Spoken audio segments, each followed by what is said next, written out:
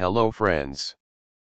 This video will describe, what is ganglion cyst and its locations, epidemiology, pathogenesis, clinical features, diagnosis, differential diagnosis, and treatment. Before starting, I will request you to subscribe, share and hit the bell icon for more such videos. What is ganglion cyst? A ganglion cyst is a fluid-filled swelling overlying a joint or tendon sheath. Ganglion cysts are thought to arise from a herniation of dense connective tissue from tendon sheaths, ligaments, joint capsules, bursae, and menisci. They contain a mucinous, gelatinous fluid.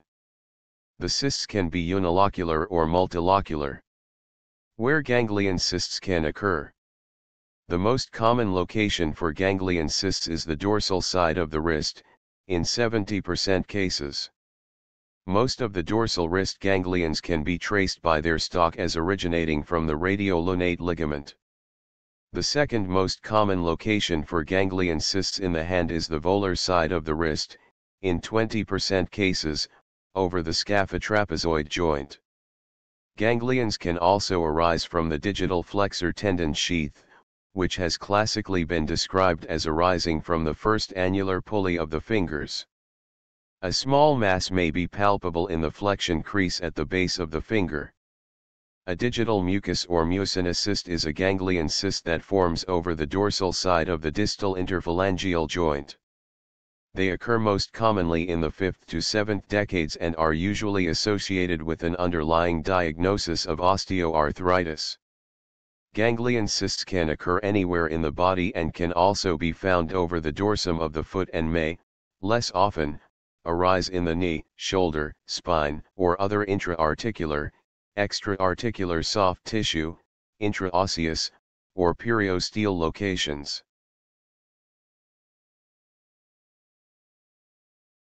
Epidemiology Ganglion cysts are the most common soft tissue tumors of the hand.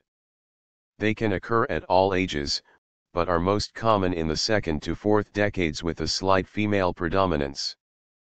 Pathogenesis The pathogenesis of ganglion cysts unknown, but it has been suggested that they represent mucoid degeneration of periarticular structures. The role, if any, of repetitive movement in causation is uncertain, it may induce enlargement of the lesion and may provoke symptoms. Clinical features Ganglia may present as an obvious swelling on physical examination or may only be manifested by joint particularly wrist pain. The cyst is typically firm, smooth, rounded, rubbery, and at times tender. Patients may notice that the size of the cyst changes over time. Occasionally, the cyst can impinge and cause nerve compression, resulting in sensory and or motor loss. In addition, Many patients seek medical attention for cosmetic reasons or out of concern for possible malignancy rather than due to any symptoms. Diagnosis The diagnostic approach depends upon the physical examination. Transillumination In patients with a readily palpable lesion, transillumination provides an easy in-office method for differentiating ganglia from solid tumors, ganglion cysts transilluminate while solid tumors do not. Ultrasonography. If available, ultrasonography is useful in the diagnosis of ganglia. Most ganglia have well-defined margins, thick walls, and acoustic enhancement. A solid-appearing ganglion, although unusual, may mimic a benign neoplasm. Magnetic resonance imaging. In patients with occult wrist pain, magnetic resonance imaging, MRI, can differentiate most ganglia from other types of masses. Surgical biopsy. The combination of transillumination, ultrasonography, and MRI are generally sufficient to distinguish between a benign ganglion cyst and other potentially neoplastic soft tissue masses. However, the presence of certain clinical features such as rapid growth, pain at rest, functional impairment, and atypical location, e.g., proximal or distal to the wrist rather than overlying the wrist, should prompt consideration for a surgical biopsy. Differential diagnosis. The differential diagnosis of ganglion cysts of the wrist and hand includes conditions associated with nodular lesions of the hand, several of which are tenosynovial giant cell tumor, epidermoid cysts, lipoma, infectious tenosynovitis, rheumatoid nodules, tendinous xanthoma, tophus N, synovial sarcoma. Treatment. Overall approach to treatment is generally to start with non-surgical interventions which consist of observation or needle aspiration, given the limited morbidity of the lesion and the potential for spontaneous resolution. Surgical therapy is generally reserved for patients who have persistent or recurrent symptoms in spite of initial conservative therapy. Observation Suggest reassurance and observation for patients who are asymptomatic or do not want any intervention.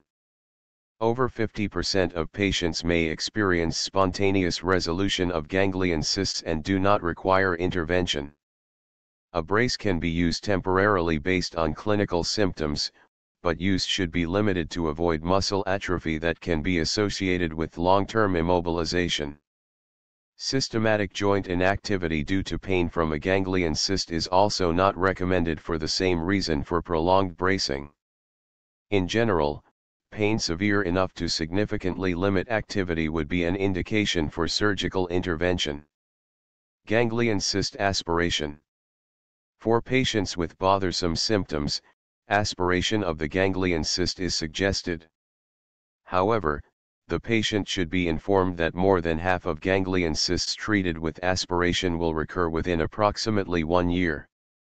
In the case of volar cysts, caution is needed in order not to damage neurovascular structures, particularly the radial artery and the palmar cutaneous branch of the median nerve.